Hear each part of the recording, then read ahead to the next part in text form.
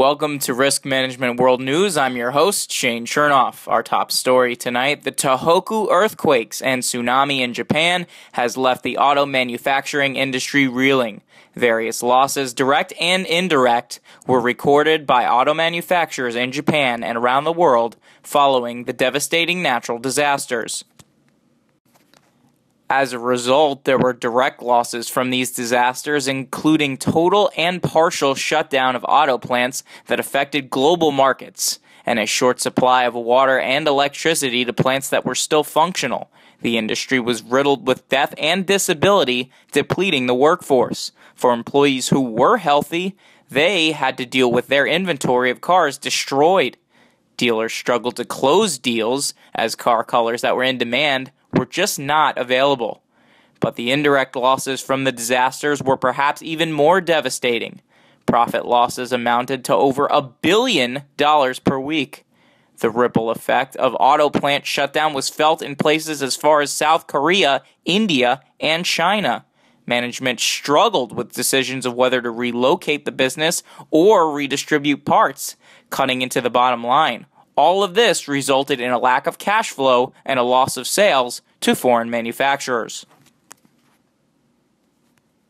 This brings us to how the Tohoku disasters affected the United States. A number of disruptions have been recorded with plants completely shut down, affecting other plants that relied on them for parts. Some manufacturers have had to make difficult decisions and reduce production in plants that are less profitable, moving valuable parts to more profitable plants. Sales of auto colors that are in great demand are affected, as these colors are not readily available anymore because of the disasters. Also, because of the disaster, a consensus estimate is that auto prices will be increasing on popular brands that are made in the US but rely on auto parts from Japan. However, it's not all gloom and doom for U.S. auto manufacturers. The disruption in Japan has led to auto consumers in the U.S. shifting loyalty to U.S. made automobiles, especially where their Japanese preferences are not available. Now, because of higher demand, U.S. auto manufacturers are also raising production and capitalizing on the short supply of Japanese cars in the U.S. For an example, we look no further than Toyota of Japan. The world's biggest automaker is losing business to General Motors as a result of the disruptions in Japan. Some have asked how a Tohoku level loss in the United States would impact the US, and if it were to happen, the outlook would be bleak. If it were to happen, auto dealers in the US would feel the effects of the disruption on supply, crippling their ability to serve consumer demand. The impact of a Tohoku level loss would lead to massive slowdown of auto manufacturing due to shortage of parts. Think fewer red and black cars because of the lack of paint. This would lead to supply stoppage to auto dealers or short supply of autos to dealers. Most parts that are used in U.S. auto manufacturing are produced in the U.S. If there is a Tohoku type loss in the US, the industry would either grind to a halt or, at best, produce at less than full capacity. As with auto manufacturers in Japan who suffered business interruptions because of financial losses, auto dealers in the US would suffer the same fate. When disaster strikes, a number of consumer goods fall in demand. Automobiles would be no exception.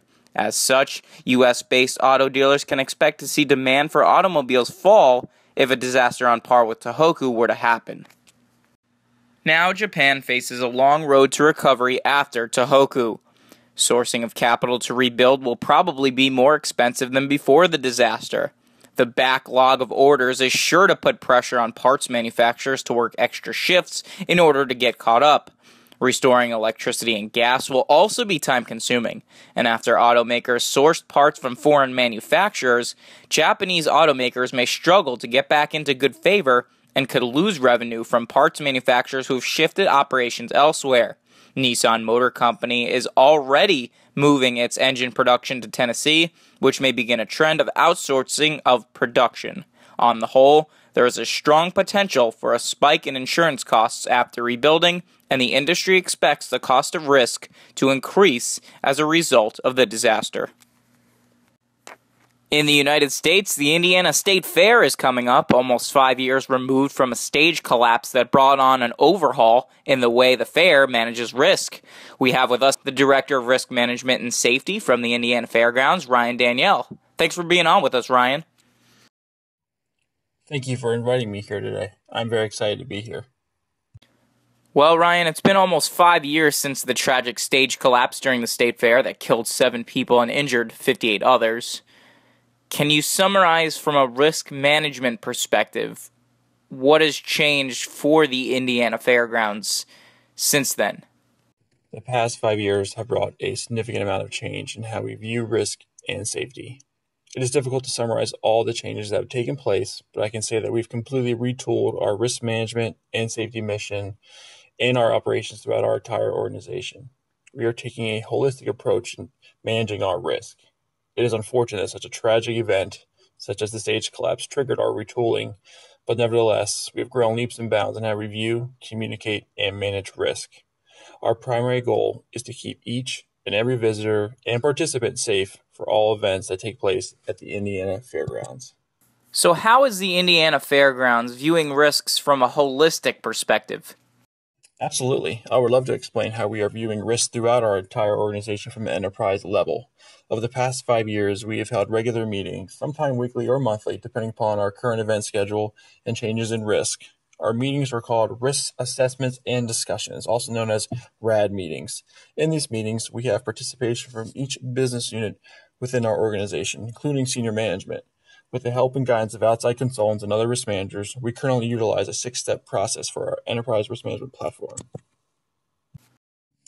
Step one is risk identification. We begin by separating our risks within four categories hazard, financial, operational, and strategic. Step two is where we analyze and quantify those risks. This is a very important step in quantifying our risks and exposures. This is really the math and science behind our risk portfolio. Step three is integration, where we aggregate all of our risks. We look for correlations among those risks and review how our decisions may impact our entire portfolio of risks. Step four is where we assess and prioritize. This step helps us communicate and address our most significant exposures throughout our organization. Step five is treating and exploitation. We develop a strategy aimed to avoid, retain, reduce, or exploit our specific risks. And finally, step six is monitor and review. This phase is continuous and communication is key in how we review and measure our results. I would say our confidence level is very high right now and we are very proud in our progress. Do we have lingering concerns? I think the answer, unfortunately, will always be yes. We can always look back at the stage collapse and remind ourselves that we could do more. We can improve on our process and our procedures. I personally always think back to what was in our control that night and what was not. What we can control is the physical environment, such as the staging area, overhead structures, equipment vehicles, security bearers, emergency personnel, and others. But there were exposures outside of our control, and for the most part, there will always be factors and conditions outside of our control. Those exposures include the weather conditions, the direction of how physical structures sway or fall, the emotional decisions that participants made, and the reactions to the situation, because of these uncontrollable factors, we will remain vigilant in addressing our exposures so we are prepared and confident in how we operate as an organization. We understand that not all conditions and events will be within our control. This is why we will continue to evolve our risk management process by measuring, monitoring, and reviewing our results. Ryan Danielle, the Director of Risk Management and Safety at the Indiana Fairgrounds, here with us on Risk Management World News. For more information on the Indiana Fair, just go visit indyfair.com. How has your confidence level increased in your ability to manage risk since you adopted this current ERM platform? Due to the stage collapse, you know, are there any lingering concerns? So the State Fair did receive some criticism back then for reopening 2 days after the collapse. If you had to make that call now, would you still make the same decision today? That is a great question and you're putting me on the spot. We looked at the other unfortunate and tragic instances involving stage collapses during concert events that happened through, around the world. We noticed that the majority of organizations and venue operations made the strategic business decision to move forward and continue operations shortly after the incidents. As you may recall, we held our memorial service and closed our doors for a day, which I believe was the right decision at the time. I also agreed with the decision to open up our doors the succeeding day. The people of Indiana rely on the state fair as a source of livelihood. It was a very difficult decision to make, but we are here to serve the business owners and patrons that come to our venue. We cannot afford to lose those individuals or to have our doors shut for extended period of time. Without operations, we cannot survive. Therefore, out of the basic business goal of survival, I believe strongly that our organization would make the same decision today that we made five years ago. Director, thanks for being on with us. Thank you very much, Shane, for having me today. I really enjoyed our time. For our final segment, we are going to look at some real world examples of risk management and see if they can be improved. It's time to harness the risk. Brought to you by Nationwide. Nationwide is on your side.